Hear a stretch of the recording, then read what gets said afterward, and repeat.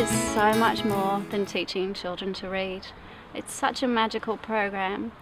They found that between pets and their owners, the levels of oxytocin almost double. That's the bonding hormone, the nurturing hormone. And they've also found that children with autism have very low levels of oxytocin. So I think when we bring these animals into school, we're doing so much more than helping them learn to read. We're helping them with their emotional wellness. Uh, we're helping them with their behaviour. And we've seen this. We've seen it work. It's not magic, but it works. I trained as a primary school teacher 12 years ago in the UK. Um, I've worked in many, many schools and I've seen many, many ways of teaching reading, both in the UK and in Australia.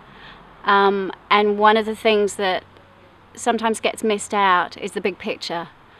Why would you learn to read? And that's what we provide. It's the excitement, it's the fun, it's the love of reading. And that's exactly what Story Dogs provides.